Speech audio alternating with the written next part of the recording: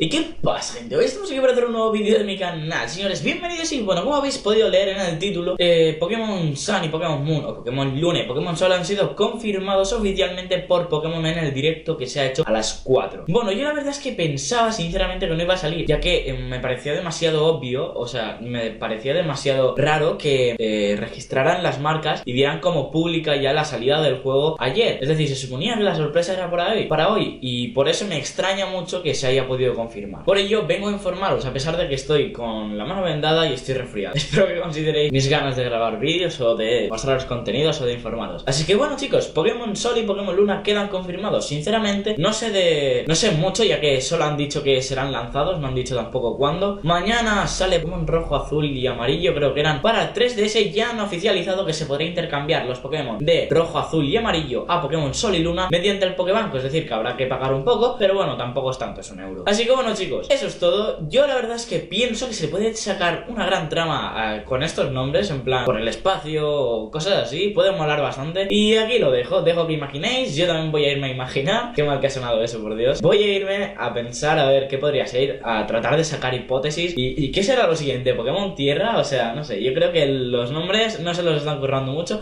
pero esperamos que realmente la historia sea lo que nos impresione y lo que nos agrade. Así que bueno chicos, nada más, nos vemos en la próxima. Adiós.